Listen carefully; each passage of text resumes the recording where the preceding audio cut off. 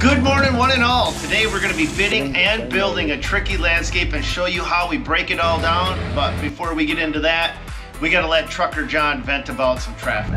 All right, so we're riding along dirt riding with with with the John the trucker. Yep, and we're doing 65, having fun, and then all of a sudden slammed on the brakes. We're just trucking along. We're bringing out oh, uh, the ASV and the new Mini X to uh, Blaine's site. And we're like, oh crap! Don't need to crush anybody hauling a ton of ton of weight. It, so now we're just stuck in traffic, butting along. One stupid trooper with a car pulled over. That's what caused all of that. That's what caused all that. Yeah, everyone's got to stop and gawk at whatever anybody else is doing on the side of the road. So it wasn't even an accident. It was just a car parked on the side of the road. Yeah. Now, I know some of you are going to throw Trucker John under the bus for saying that, but have you ever sat in traffic for 20, 30 minutes just to, fi- just to finally pull up and see that a, a police officer has somebody pulled over on the side of the road?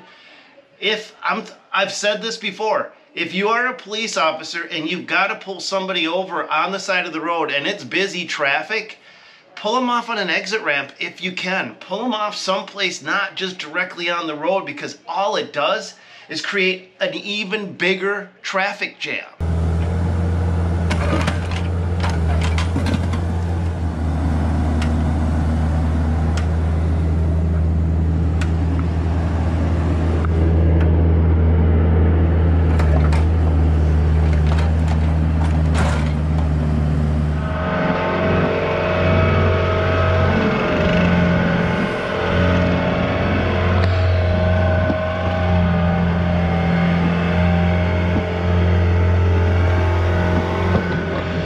Honestly, the camera does not do that hill justice.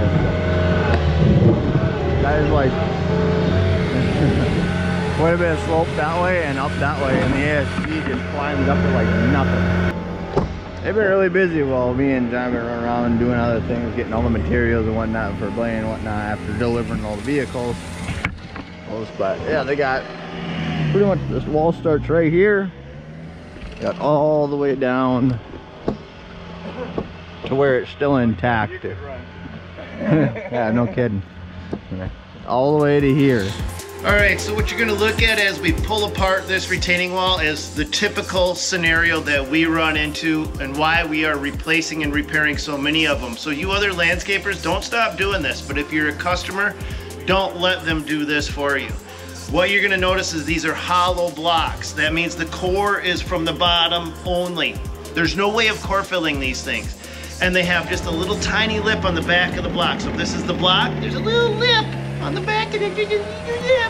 And that little lip is useless. When we actually use these blocks to base, we actually take a, what's called a chip and hammer. It might as well be the back of a pliers. And we just tap that and that knocks the entire back off. So there's no connection method with these blocks at all. So make sure if you are hiring a landscape company, don't allow them to put this in for you guys.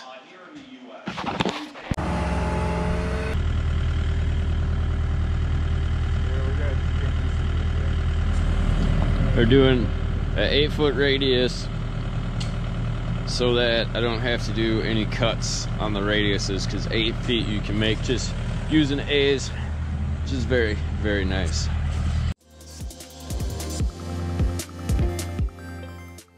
By going with an 8 foot radius, we can have a solid line on the cap units, meaning that the backs of the caps won't split or separate. We want to make sure that those caps are uniformly tight, whether that's as straight in a row or going around a radius or a curve. If it gets tighter than that, well then that means we've got to start to do some custom cutting. So 8 foot is kind of the key measurement to keep us from custom cutting every single cap.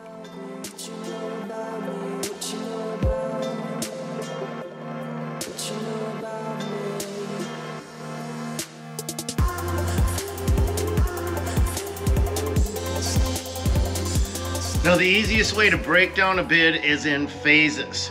You can, we do it but with demolition and excavation as phase one. That's tearing everything apart and prepping for the build. The build itself is phase two, whether that's a retaining wall, a paver patio, uh, installing trees or anything that is the new stuff that's going in place. And then phase three is the restoration. So that is putting everything back together with a nice, it's like buying a Christmas present, putting it in a package, wrapping it up, and putting the bow on top of it with your card on the top of it. That's what the restoration does, puts everything back in order. So let's break this thing down a little further.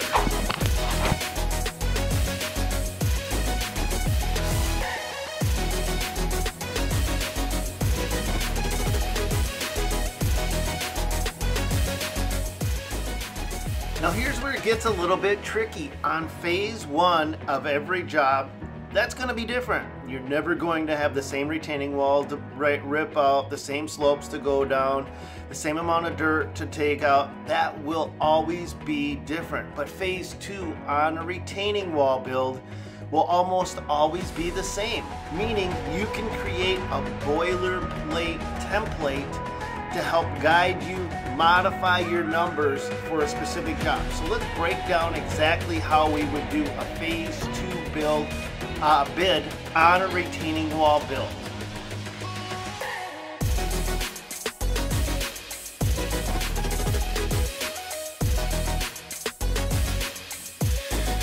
So here's how you break down a retaining wall bid. It's your basic materials. It's your block, it's your rock, it's delivery of your materials, and it's the installation of your materials. It's those four nice little pieces of the puzzle put together. So just to make life easy, let's say your block price is $10 a square foot. Now you need your rock. And this is where most companies skimp. They think they're saving money. Worst possible thing you can do. Don't freaking skimp on your rock add more rock because it's super duper cheap insurance. If you are a landscaping company, put in more rock than you need to. But if you want to know the exact amount of right rock to put in, it's 200 pounds per square foot. So let's break this down for you. If you have a 100 square foot wall, you multiply it by 200, and then you take that number and you divide by 2,000. And the reason you divide by 2,000 is you don't buy your stone on a price per pound, you buy it per ton. So you're figuring out how many pounds you need to put into your wall, and the key factor is 200 pounds per square foot, but you're buying it per ton, so divide by 2,000. You've also got to calculate in your travel time. That is the delivery of the materials to your job site. You seen Trucker John pissed off because he was stuck in traffic. Trucker John was delivering all of our materials. He had all of these guys waiting for him. So uh, the delivery is a vital component. You've got to calculate in your delivery time and then your install. How long is it going to take you to install this? So when you put those four pieces of the puzzle together, it should create a template that will help you go out and bid almost every single retaining wall job you do. But there's nuances to that. In this job, you're gonna see that we're putting in GeoGrid. GeoGrid means we've got extra excavation, we've got extra backfill, we've got extra compaction. So we've got to start to take in those small fluctuations into our price. But once we have the generalized guideline on how to bid these things, we can then modify that on a job per job basis. If that doesn't help you out, then I don't know what will. So give me a thumbs up if it does. Or a hell yeah in the comments. Hell yeah. Give me a hell yeah.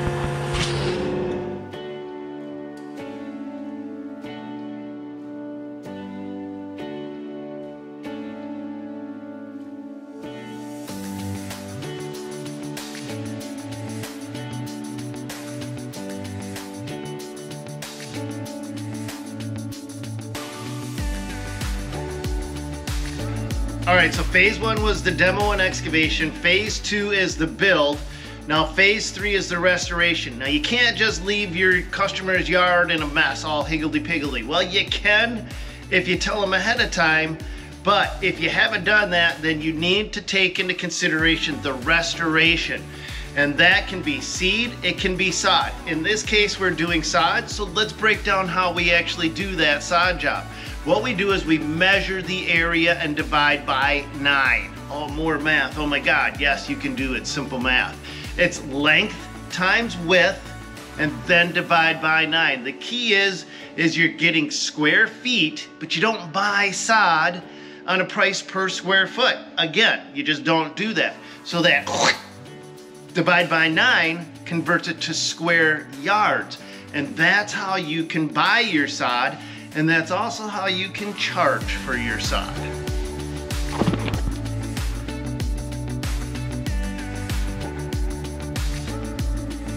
All right, that's it. We're all wrapped up.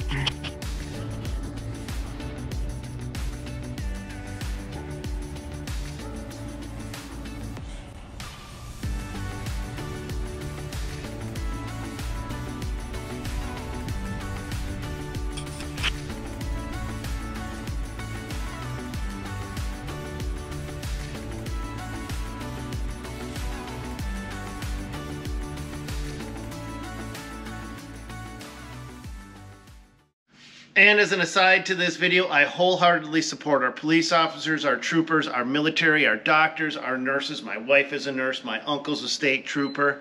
And the fact that John called him a stupid trooper earlier in the video is just John getting emotional. It happens. Get over it. See you guys on the next one.